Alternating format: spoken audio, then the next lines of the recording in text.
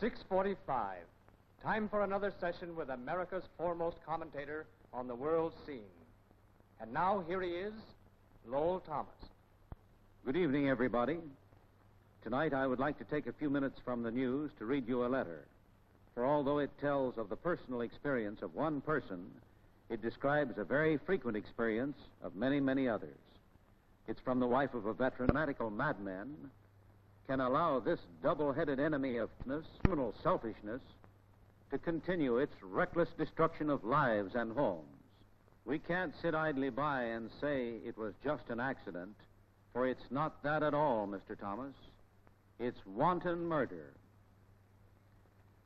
During the four years that America was fighting for its life, 212,000 men, an average of 53,000 a year, lost their lives. Now that the war is ended, we think that terrible waste is over. Ah, but that's an illusion. The horrible slaughter continues. This year alone, traffic accidents will kill more than 40,000 living, breathing human beings. Imagine the entire population of Joplin, Missouri, or St. Petersburg, Florida, or Joliet, Illinois, wiped off the map. And then you have some idea of what this Holocaust means. Hundreds and hundreds of thousands of other healthy men, women, and children will be maimed, crippled, have their lives ruined because someone decided to take a chance or tried to save a minute.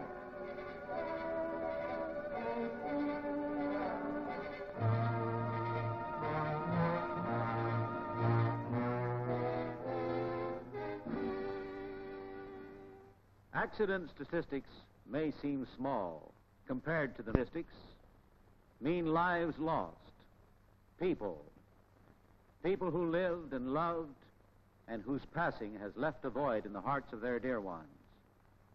That empty place at the dining room table. The empty seat in the classroom. The vacant desk in the office.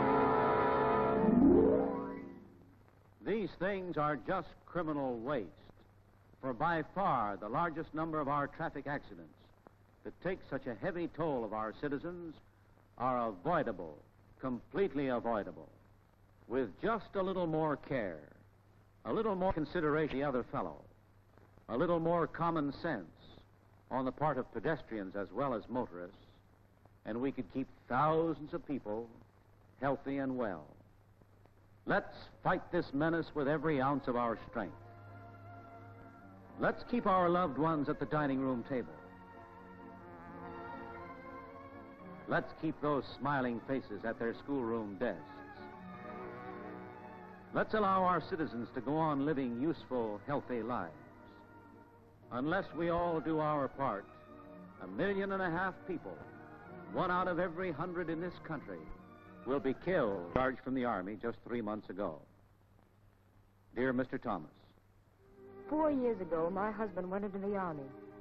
All at once, the newspaper headlines came to life. The war from a thousand battlefronts with tongue-twisting names put its foot inside my door. For this, my husband, the father of my child, going off to fight.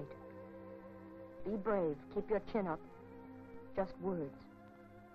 All I knew was the sheer agony of parting from the dearest thing in my life.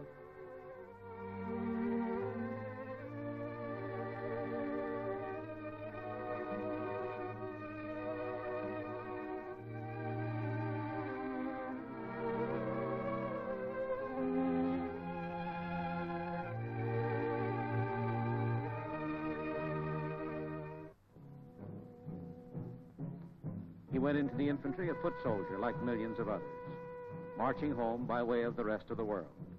He was at Salerno, where men who were his friends died. Men with children, just as dear to them as our little girl is to him. Men who loved a Frankfurter at the ball game just as much as he. Men whose mothers and wives prayed just as fervently as I. They died. But God was with him and he lived. Yes, they died and he came through, alive and sound. He was at Cassino where real flesh and blood men, not just statistics, traded their lives for a bit of ground too small to hold their bodies. And yet, though bomb and bullet and bayonet vied for the honor of killing him, once again he came through. Four years of this, four long years of this grim Cook's tour, with every advance offering death still another chance. All through those long 50 hour days and 100 day months, I lived in fear of hearing the doorbell ring. Reading that telegram that starts The War Department regrets. But no, the telegram never came. The war ended and my husband was still alive. Almost before the impact of this miracle had dawned upon me, he was home, safe in my arms. The misery and the longing and the worry and the danger were all behind him. He was home, and he was safe.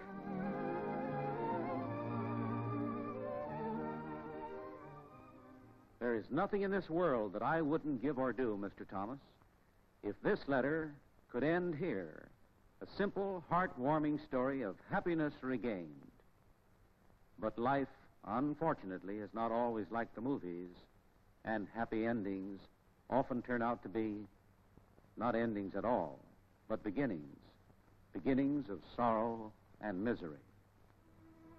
Three months after my husband was discharged, life was beginning to return to normal. He had his old job back with the promise of even better things to come. The baby, who had become a little girl during his absence, learned to love the man who was the photo on the piano come to life. And I, well, I felt as though I had begun to live again. As I look back now, I can't remember just what I was thinking about that morning. What to have for dinner, or perhaps the. I'll never know whether he saw the man in the big sedan. But even if he had, there was no time to act. For this man speeded up to beat the light, tried to make a sharp. This man who killed my husband was trying to make a light. Trying to save one minute's worth of time. Imagine all the years of devotion and happiness together that we deserved and would have had. All sacrificed. And for what? If during the war he had died fighting on some foreign field, I might have found some consolation, knowing he had helped achieve something he believed in. But how can I feel? Realizing that his life was traded for just 60 seconds of time. It seems incomprehensible to me that a nation like ours, which rose as one person to beat off the